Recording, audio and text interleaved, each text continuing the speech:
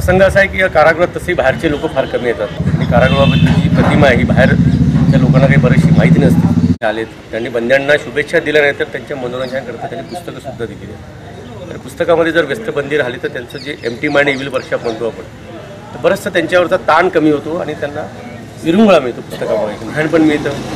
आणि सोबतच त्यांनी टेलिव्हिजन सेट पण दिलेलं आहे आम्हाला. पुस्तकं वाचून बंद्यांच्या मनामध्ये नक्कीच काहीतरी बदल होईल जरूर होईल. काही शंभर टक्के नाही काय होईल आपण वीस पंचवीस टक्के लोकांमध्ये बरेचसे लोक हे ग्रामीण भागातून असतात.